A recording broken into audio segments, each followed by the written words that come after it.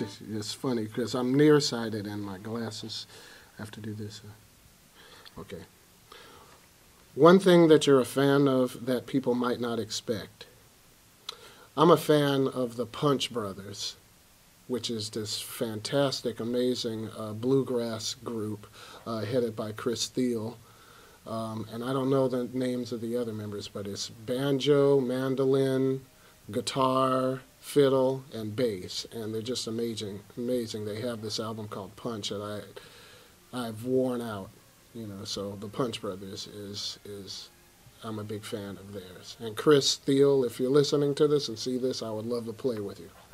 If you only had one day left, how would you spend it in New York City? Well, I'm from Los Angeles, and uh, I've been playing every Christmas at the Blue Note two weeks with Chris Botti.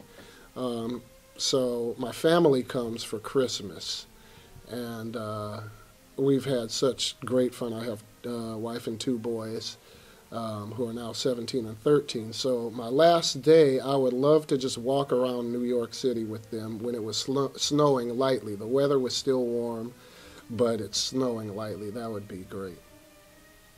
My name is Billy Childs, and uh, nice to see you, whoever you are.